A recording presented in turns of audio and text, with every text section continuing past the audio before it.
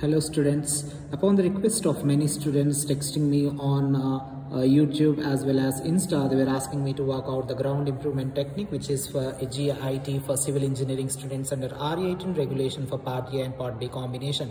Dear students, if you haven't subscribed to my channel, please do subscribe as well as share this content and support me by liking and commenting if you are looking for any other course. I have come up with few questions. I'll be looking, I will be giving you a few gunshot questions. Please do not skip this as the syllabus is too short in its structure but whereas the questions were asked in depth uh, related to ground improvement technique and related to the applications of each and every parameter where the course is too small in its structure as per the syllabus but the questions are too lengthy in this in the question papers which have gone through uh, the previous years. The first and foremost i can give you is the objectives and the scope of gi and the need of gi i mean uh, ground improvement. Purpose of compaction objectives of compacting soil is said to be a gunshot question related to compacting soil. Blasting techniques for uh, densification of granule related to densification of granule soil. You are going to get one question for sure. Free swell index importance is a three mark two mark question. Various problematic soils that are encountered by an engineers any two methods is said to be a topmost and gunshot question. Installation of compaction pile may be a two mark three mark. Soil types and in situ as well as laboratory set is said to be a 2a and 2b and 3a also carries from this part. Later strategies development for optimizing the densification process of a ground is said to be a topmost question. Physico or chemical methods and its applications and vibro compaction method step by step procedure and sketch the diagram as well as sometimes they're asking the differences between vibro compaction as well as dynamic compaction technique and shallow compaction technique. From this part you'll be getting at least a 5 mark or 2 mark 3 mark question for sure this time. Dynamic tamping field the densification process and thermal methods of stabilization by heating technique sketches. Dear students i have not cut all the questions here as per the syllabus. I am in the unit wise. I have gathered all the questions together. Please do follow and work out all these questions dewatering techniques is said to be a 2 mark 3 mark question cohesive soils along for a pre-loading technique with a neat sketch is said to be a topmost and gunshot question which may be 4A. Quality control for a clay columns in clay by vibrational method is also said to be a topmost question. Filtration and seepage control. Geosynthesis of soil is said to be a topmost question. Jet grouting is said to be a topmost and expected question this time. Pre-drainaging methods and the, for the vacuum wells and well points may be a 2 and 3 mark question single stage well point system as well as compaction grouting is said to be a 3 mark question for sure to define.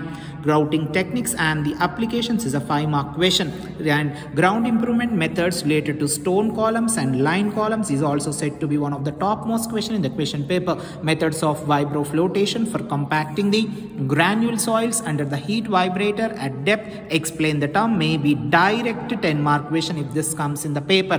Later preloading objectives. Dear student the course is all about the theory you are supposed to work out each and every parameter with a neat diagram wherever required as well need to be written only in point wise do not write in paragraph wise. Sand drains and sand wicks and geodrains and the comparison among them. Ground anchoring mechanism is 2 mark 3 mark question. Thermal methods for stabilization by cooling technique. Preloading vertical drain along with a neat sketch is said to be a topmost and gunshot question. Electrokinetic approach of dewatering stripe versus bar versus mesh reinforcement and their applications is said to be a 5 mark question principles of soil densification through mechanical modification process is also said to be a 5 mark question. These are the very important questions which I have taken into consideration by referring the previous year question papers and the syllabus copy of the course ground improvement techniques Later, the properties of backfill material used in soil reinforcement, soil uh, uh, nailing system and its application is a 2 mark 3 mark question. Multi-stage well point dewatering system, either a single stage or multi-stage related to its merits and demerits is also very important. Hydraulic modification of soil improvement by electro-osmosis method is said to be a topmost question which you are going to expect this time in the question paper. Short, uh, shotcreting technology 3 mark mark 2 mark question. Class C and Class F fly ash is a 5 mark question. Benefits of providing reinforcement in the soil and knitting technology is 2 mark 3 mark question. Define grouting and the method of compact compaction grouting and the applications of grouting is said to be a topmost question. Rock bolting process and the application is a 5 mark. In the effect of fly ash on strength characteristics, a clay soil. Dear students, you have less time to work out. You are supposed to work out each and every parameter which I have highlighted here. Ascending method of grouting technique along with a neat sketch and the effectiveness of reinforcement with a strip and geogrid reinforcement steel is said to be a 10A question in the question paper this time. Do not forget to work out this.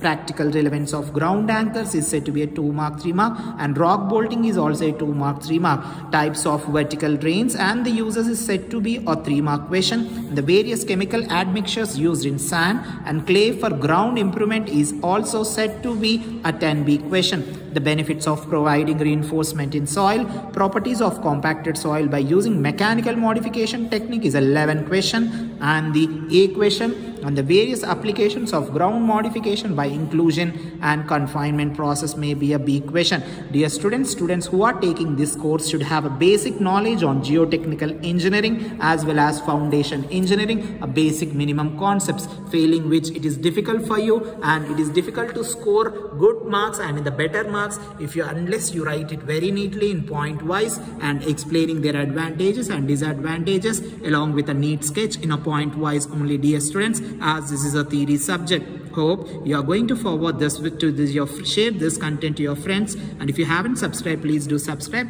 as well as share. Good luck and god bless you all. Thank you